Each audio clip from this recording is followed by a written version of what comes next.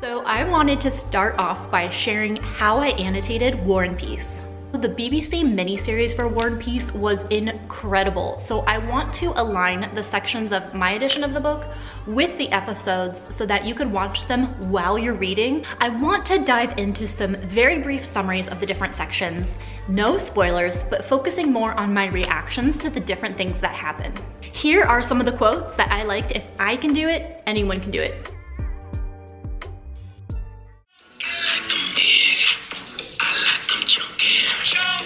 Fun fact, I can actually be one of those pretentious snobs that says I read War and Peace. I really wanted to accomplish this because War and Peace by Leo Tolstoy is often referred to as the best book ever written. So I knew that I had to read it and experience it for myself. It's really surprising that I would even read War and Peace because I have said on more than one occasion that I hate reading books about war. I'm just not into the whole war plot. I have powers. Oh, I have powers too. Let's have a war and I'm just kind of burnt out on that. But again, I had FOMO and I didn't want to miss out on the greatest book ever written. More than anything, I want to highlight to you that if you have interest in experiencing this book for yourself, then you should absolutely do it. I was shocked at how easily I was able to grasp the concepts and understand the language. One of the keys to success that I had in reading this book was utilizing SparkNotes alongside my reading journey, and it made all the difference. The biggest complexity of this book is that there are something like 559 characters, 200 of them being historical figures. So it's really hard to keep track of. Having SparkNotes by my side was really beneficial to keeping all the characters in line, understanding different plot points that I was missing, picking up on themes and symbolism I never would have grasped without it. I really recommend it because although it's not complicated language, there's a lot of depth and meaning that could be missed. I had a lot of thoughts while reading this book, if you couldn't tell. So I wanted to start off by sharing how I annotated War and Peace. As always, I have a color key at the beginning where I write down what all the different colors of tabs mean. Being a book about war, I kind of assumed there'd be a lot of scenes that would make me sad. So the first color that I wanted to tab was blue for moments that did make me sad. There's actually not that many blue tabs throughout this book, so I don't think I even cried until maybe like the last fourth of the book. Pink indicated moments that I loved. Green was a very important color because those are little stickies when a new character was introduced. It was important to me to try and keep track of those 559 characters, although it was a little hard to distinguish who was important and who was just a supporting character. If you're not familiar with Russian literature, something that I learned is that there's so many different variations of the same name that it can get really confusing. Orange were for different quotes that I liked, and there was definitely a lot of them. Purple tabs indicate different examples of the theme, and when I was looking it up on SparkNotes, that's where I found out the themes I wanted to keep an eye out for. And that was the irrationality of human motives and the meaning of life. Now that you know some of the things that I kept an eye out for while I was reading it, I want to tell you a little bit of what it's about. And honestly, the best description is on the inside cover of my edition and it says, at a lavish party in St. Petersburg in 1805, amid the glittering crystal and chandeliers, the room buzzes with talk of the prospect of war. Soon battle and terror will engulf the country, and the destinies of its people will be changed forever. War and Peace has as its backdrop Napoleon's invasion of Russia, and at its heart, three of literature's most memorable characters. Pierre, a quixotic young man in search of life's meaning. Prince Andrei, a cynical intellectual transformed by suffering and war, and the bewitching Natasha, whose impulsiveness threatens to destroy her happiness. That is a brief summary of what these 1400 pages are about. I want to dive into some very brief summaries of the different sections, no spoilers, but focusing more on my reactions to the different things that happen. Also, the BBC miniseries for War and Peace was incredible. So I want to align the sections of my edition of the book with the episodes so that you could watch them while you're reading. It's really, really cool. It enhanced my reading experience of War and Peace. And because I timed it pretty well, there weren't too many spoilers and I could watch them at the same time. I think the BBC miniseries was fantastic and actually a really good representation of the storyline. You're not going to catch the same level of philosophical reflections, so a lot of the themes in this book you're not gonna get. I didn't cry at all in the series. It didn't make me feel nearly as emotional, which I think we can all expect, right? We all know the book is better. In this case, I think if you just want a high level introduction into the story of what War and Peace is about, you can check out the BBC series. But if you love history, military strategy, if you love kind of the philosophical meaning of life discussion and diving into that, definitely invest the time because this is an impactful book. I read this edition here, which is the Penguin Classics Deluxe Edition. It is translated by Anthony Briggs. So that is the one that I'm gonna be using when I'm referring to page numbers. Also, um, I break it down into volumes, but I think other editions refer to them as books. So the terminology might be different, but I think the breakdown is going to be the same. So keep that in mind when I'm going through these. I'm going to be going through my Instagram where I outlined a lot of my reactions and I had some quite brilliant and cute pictures to go along with it. So I'm gonna be reading off my iPad for a lot of this because it's just too much to memorize. Kicking us off with volume one of War and Peace. When it comes to the BBC miniseries, this took me up to volume one, part two, up to chapter 20, which was page 200 in my edition. Episode 2 of the BBC series took me up to volume 2, part 1, chapter 5, or page 338. Part 1 of volume 1 is really where you get a taste for how many characters there are. It could be very overwhelming. I recommend keeping notes I looked up a character map online, but unfortunately it had a ton of spoilers. So it would give me like the characters' names and then tell me if they lived or died. And so that kind of ruined a bunch of it for me. So just be careful if you're gonna look up a character map. In part one, I loved the Gossip Society. There was inheritance drama that was really fun too. There was some drunken debauchery and there were some parent-child relationship dynamics that I thought were really interesting in part one as well. Part two, I'm going to refer to my handy dandy notes here. Some of the things I noted that in chapter eight, there's a paragraph that starts with one step across that dividing line, so like the one between the living and the dead, and you enter an unknown world of suffering and death. This whole section was so beautiful and so well done. This is where you get kind of a taste of Leo. I'm gonna call him Leo. Hope that's okay. We're like this now. We've spent a lot of time together.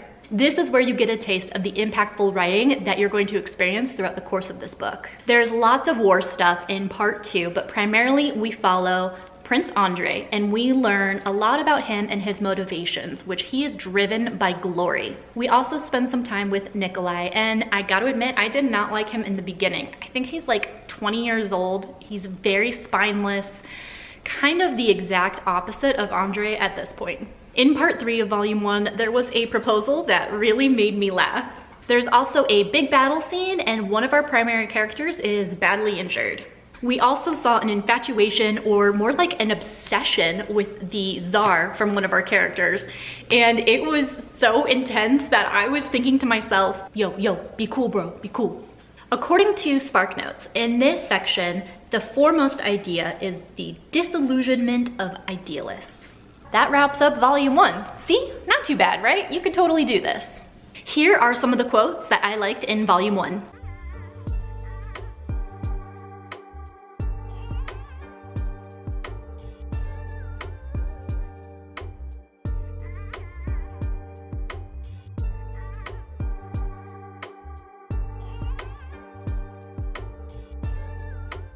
There's nothing more important for a young man than the company of intelligent women.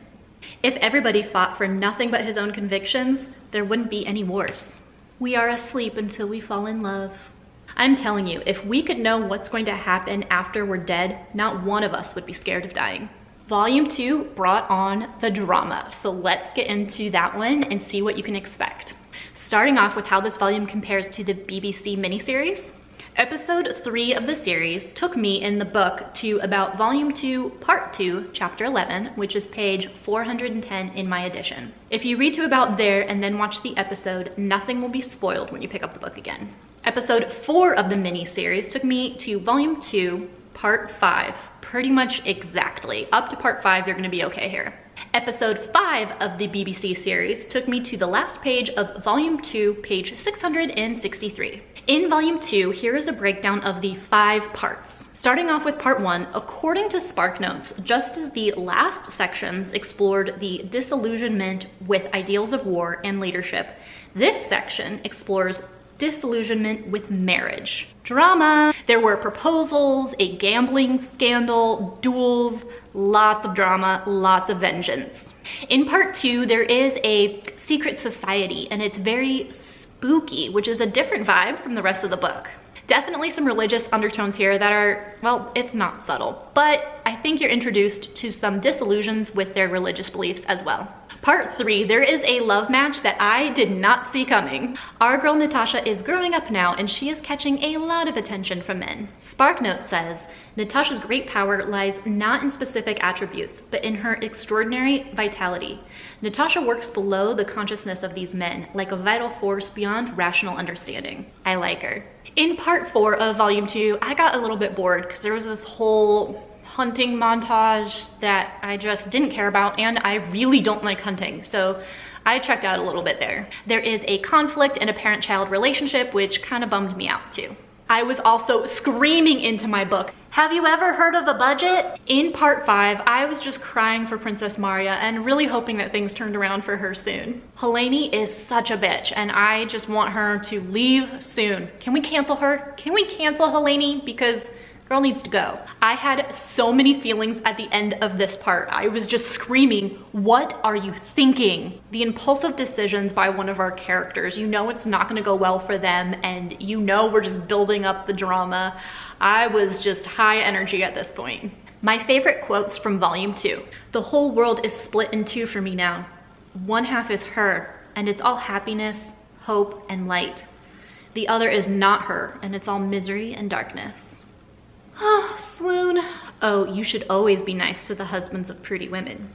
I ignore everybody unless they are useful or dangerous, and most of them are dangerous, especially the women. The only thing we can know is that we don't know anything, and that is the summit of human wisdom. What's right and what's wrong is something we can't decide. People keep making mistakes, and they always will, especially when it comes to right and wrong. For the first time in his life, Pierre was struck by the endless variety of men's minds, which guarantees that no truth is ever seen the same way by any two persons. If you want to be happy, you have to believe in the possibility of happiness, and I do believe in it now. Let the dead bury the dead, and while ever there is life, you must live and be happy. This brings us to volume three, and I'm gonna tell you right now, this was not my thing. I don't like books about war, I think particularly because I don't like the battles or the battlefield, and that's where this volume takes place. If you do like history and the strategy behind war though, I think you'll really like this section. Starting off with how this compares to the BBC series, we have episode six, which took us right up to the Battle of Borodino, but the fighting hadn't started yet. For episode seven, 30 minutes in, closed out volume three, but then it started to spill into volume four a little bit and I turned it off because I didn't want to be spoiled. So kind of have to figure that one out since it crosses over like during the episode. In part one, Princess Marya had not caught a break yet and those peasants were complete assholes to her. When it comes to Pierre, I found it fascinating how there were different elements of the supernatural when it came to him because that was not a theme that carried out for the rest of the book. There was a 666 premonition, which is what I'm referring to here. Part two, this is where a lot of the battle scenes were and what was dissuading me from originally picking up the book.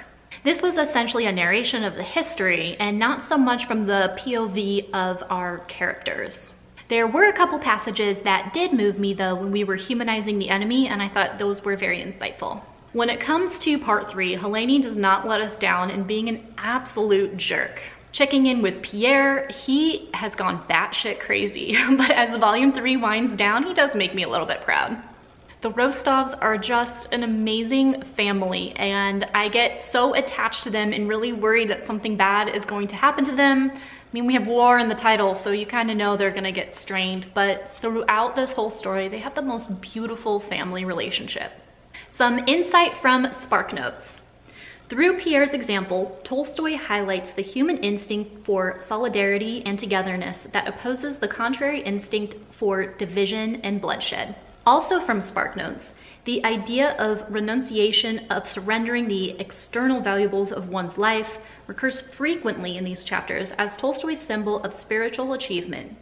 This renunciation is both private and public, both emotional and military. Such surrender astonishes Napoleon, who in his materialistic fashion cannot fathom what a country would prefer spiritual freedom to material loss of property. That's what you can expect in volume three, but let me share some of my favorite quotes. Kings are the slaves of history. If he had learned one lesson from his military experience, it was that in matters of war, the most carefully considered plans count for nothing. Everything depends on how you react to unexpected and unpredictable enemy action. Everything depends on who takes charge and how. There is nothing stronger than those two old soldiers, time and patience. It comes down to this. No more lying. War means war and it's not a plaything. Otherwise, war will be a nice hobby for idle people and butterfly minds. You can love someone dear to you with human love, but it takes divine love to love your enemy. Volume four is really the heart and the meat of the substance of this book and what Tolstoy is trying to convey. I feel like the earlier volumes are very plot driven and I mean in volume four it is too because actually on page 1183, right? So like this much through the book is where I cried for the first time. And looking up other reviews and commentary on War and Peace, I'm not alone. This is where a lot of people broke down. There's something that happens that um, it's a side character. It's not even one of our main characters, but a side character dies and it just gutted me and it was so Ugh.